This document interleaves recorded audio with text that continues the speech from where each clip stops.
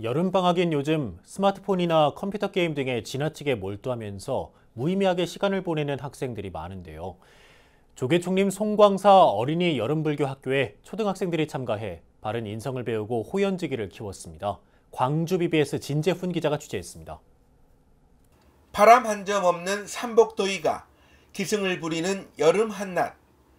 천진불들의 제잘거림이 고즈넉한 산사를 깨웁니다.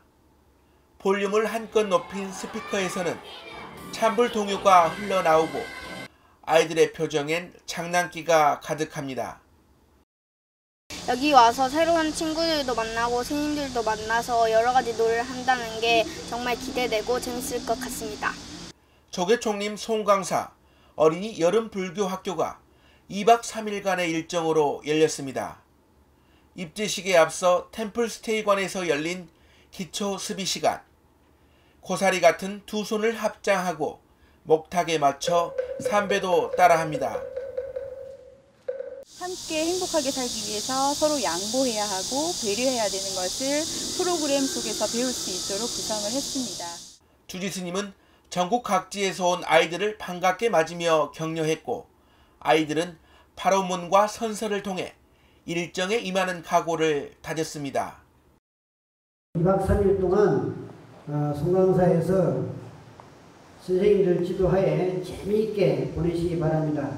크게 떠들어도 괜찮아요. 박사님 마음을 변치 않고 지혜롭고 건강하게 잘 수 있도록 이끌어 주소서 나하반야 바라에 나무 석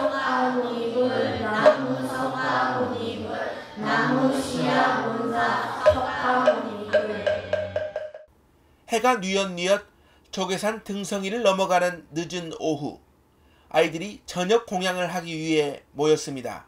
내 육신을 지탱하는 내 육신을 지탱하는 약으로 삼아 약으로 삼아 도업을 이루고자 도업을 이루고자 이 공양을 받습니다. 이 공양을 받습니다. 감사히 잘 먹겠습니다. 감사히 잘 먹겠습니다. 쌀 한 톨도 헛되이 하지 말라는 불가의 가르침에 따라 아이들은 전략 정신과 음식에 대한 감사의 마음을 배웁니다. 작년에는 에어컨이 없고 선풍기밖에 없어서 조금 더웠어요. 그렇지만 재미있는 추억을 남겨서 어둠이 내려앉을 무렵 대웅전에 모인 아이들은 부처님 전에 저녁 예불을 올리며 산사의 하루를 보냈습니다. 송광사는 매년 여름방학을 맞은 전국의 초등학생들을 대상으로 어린이 여름 불교 학교를 진행하고 있습니다. 이 사찰에서도 이렇게 우리가 마음 편하게 뛰어놀 수 있는 이런 공간으로 공간이 되는구나 하는 것을 송광사 어린이 불교학교가 아이들에게 바른 인성과 불교와 인연의 씨앗을 심어주는 소중한 프로그램이 되고 있습니다. 순천 송광사에서 BBS 뉴스 진지훈입니다.